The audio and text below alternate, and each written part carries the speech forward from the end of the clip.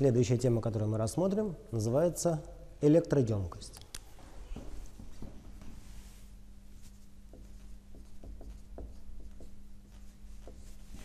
Емкость. Емкость э, характеризует способность металлических проводников накапливать заряд и э, накапливать вместе с этим зарядом какую-то энергию. Э, по определению емкость С находится как отношение заряда к напряжению У.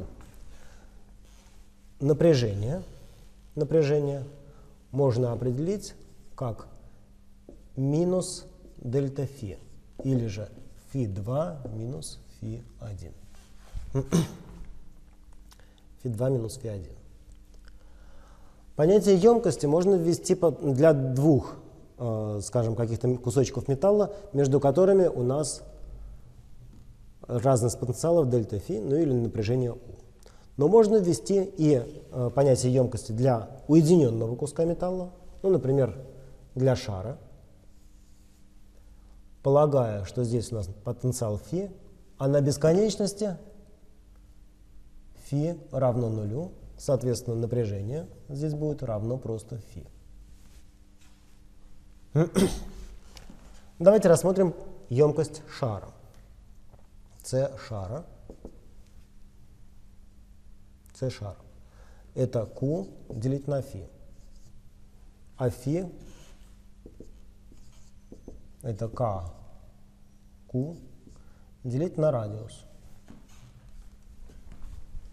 И тогда c шара это r делить на k. r делить на k. А, в системе сантиметр грамм в секунду, в системе СГС k равно единице.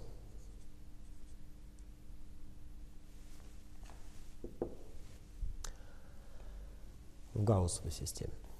Но если k равно единице, то емкость просто равна r, и единица измерения емкости – это сантиметры. Удивительная вещь. В системе Си, в системе Си, К равно единица на 4π эпсилон нулевое. а равно единице на 4π эпсилон нулевое. И тогда c шара равно 4π эпсилон нулевое r. r. И емкость в системе, C, э, в системе С измеряется в фарадах фарадах. Фарад – это основная единица в системе Си. Если же у нас э, имеется не вакуум, а какая-то диэлектрическая среда с диэлектрической проницаемостью эпсилон, если у нас имеется диэлектрическая проницаемость эпсилон, тогда φ равен kq делить на эпсилон r. И емкость, ну сейчас я буду писать в системе С, и тогда емкость равна 4π эпсилон нулевое эпсилон r. Эпсилон r. То есть емкость будет прямо пропорциональна диэлектрической проницаемости среды, которая заполняет объем. Это вот емкость шара.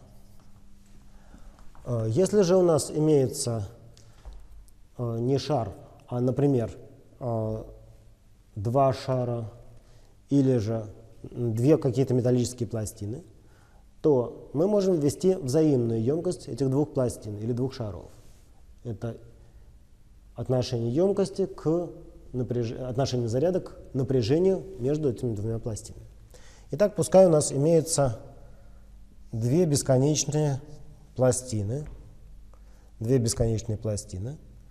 Пускай эти пластины заряжены одна с поверхностной плотностью заряда сигма, а другая с поверхностной плотностью заряда минус сигма. Бесконечные пластины. А, такие пластины создают напряженность поля. Напряженность поля от одной пластины это сигма делить на эпсилон нулевое эпсилон, делить на 2 эпсилон нулевое эпсилон. Это мы получали из теоремы Гаусса. А с другой стороны, поле Е, которое здесь, будет равно 2 поля Е1. Это поле одной пластины и поле второй пластины. От первой пластины поле направлено от нее, а ко второй – ко второй. То есть поля будут складываться. И тогда будет напряженность поля равна сигма, деленная на эпсилон нулевое эпсилон.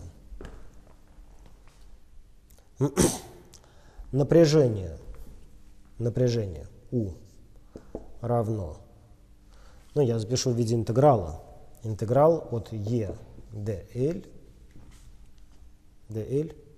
Интеграл будет браться от нуля до расстояния L между пластинами.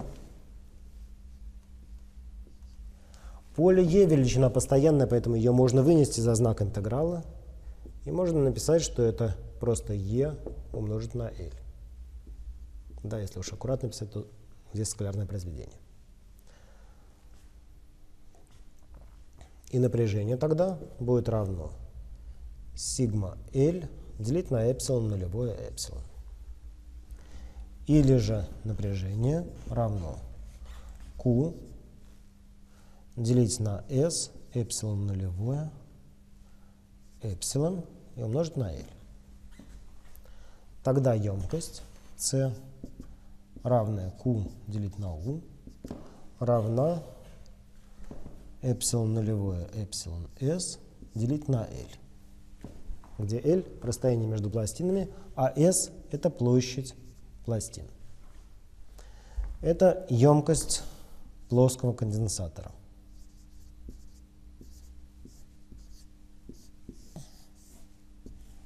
Емкость плоского конденсатора. Ну или взаимная емкость двух пластинок, находящихся на каком-то расстоянии друг от друга.